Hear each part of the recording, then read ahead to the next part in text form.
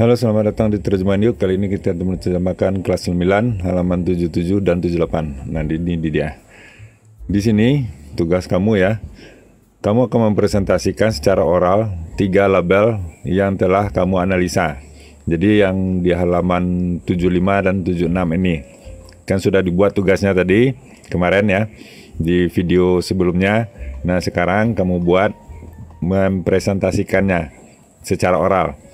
Nah, gunakan uh, petunjuk presentasi atau panduan presentasi yang telah dipergunakan sebe sebelumnya untuk memandu kamu melakukan tugas ini.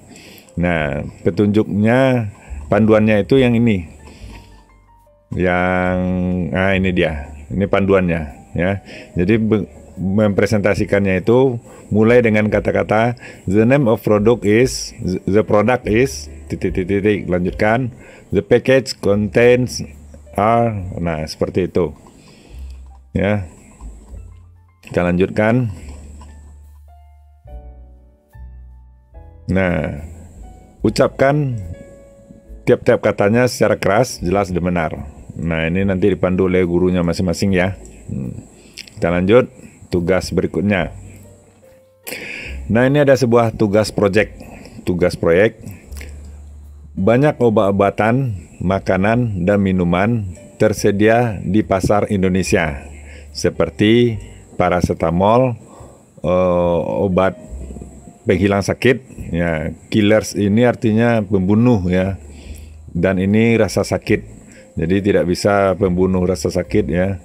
Jadi penghilang rasa sakit. Hmm. Mie instan, kopi, teh, uh, makanan kaleng, buah-buahan kaleng, artinya makanan yang dikemas dalam kaleng dan ini buah-buahan yang dikemas dalam kaleng.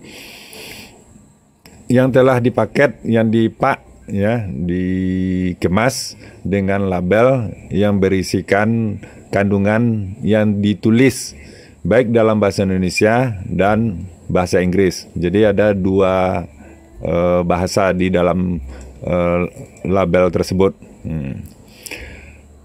Temukan, jadi go out and find ini artinya temukan atau carilah ya minimal dua label makanan dan dua label minuman. Artinya ada empat label. Itu paling kurang. Nah, yang kedua, tentukan bagaimana kandungan yang ternya, yang tertera di masing-masing bahasa. Jadi ada bahasa Indonesia-nya, ada bahasa Inggrisnya. Tentukan dengan menggunakan tabel analisis. Tabel analisisnya adalah yang di sini di halaman kita lihat. Bukan ini ya. Ini cara pengucapan. Nah, ini dia. Ini tabel analisis kita. Hmm. Jadi ada tujuh uh, kandungan yang harus kamu cari. Nama, konten atau jumlahnya, deskripsi, kandungan bahan yang bahan produk itu, cara penggunaan, cara penyimpanan dan tanggal kadaluarsa. Lanjut. Kita ke bawah. Nah, lanjut nomor tiga. Nah, ini tugas masing-masing kamu lagi praktekkan mempresentasikan temuan kamu secara oral di dalam kelompok di dalam kelompok kamu ya. Jadi tidak dalam dia, tidak di depan kelas. Pergunakan eh, panduan mempresentasikan yang di halaman di atas tadi, panduan presentasi di sini dia. Ini panduan mempresentasinya ya. Nah, lanjut. Nah, untuk memulai menyampaikan masing-masing eh, kandungan yang ada dalam produk tersebut. Nah, nah lanjut. Setelah itu nomor 4, presentasikan analisis kamu secara oral di depan kelas. Nah, ini di depan kelas lagi. Pergunakan kamus, pastikan kamu mengetahui makna masing-masing kata, cara pengucapan, dan mengucapkannya harus benar ya. Nah, itu tugas yang terakhir di uh, bab ini. Nah, setelah itu kita masuk ke jurnal. Nah, ini jurnalnya. Dalam jurnal kamu ini, tulis refleksi tentang yang telah kamu pelajari pada bab ini. Nah, ini jurnalnya. Apa yang telah kamu pelajari? Kita lihat ya secara umum yang telah kamu pelajari itu adalah kita lihat eh, halaman babnya. Nah, ini dia. Nah, yang telah kamu pelajari adalah bagaimana mem memilih ya produk-produk yang sehat dan aman ya. Bagaimana cara memilih produk yang sehat dan aman untuk menghindari efek-efek yang berbahaya seperti penyakit ya agar kamu memperoleh hasil terbaik.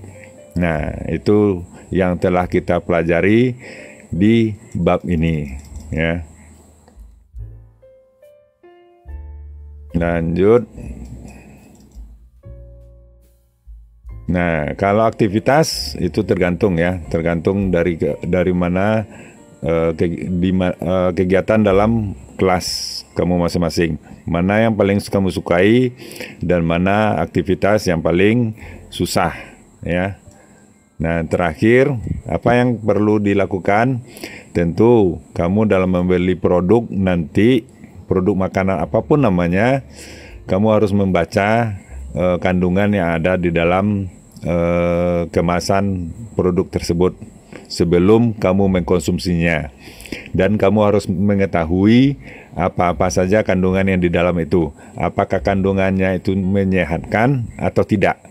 Dan uh, ini penting karena kesehatan dengan kesehatan kita bisa berbahagia ya. Jadi jangan sembarang makan saja. Sema apa namanya mentang-mentang produknya murah. Nah, kamu beli.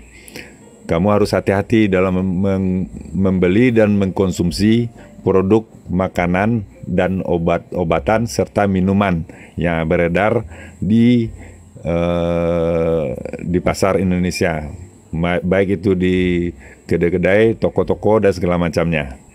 Ya, mudah-mudahan ini bermanfaat ya. Sampaikan kepada teman, like videonya dan subscribe uh, channel ini agar tidak tertinggal materi-materinya. Ya sampaikan kepada guru dan diskusikan di dalam kelas. Oke, terima kasih. Sampai jumpa.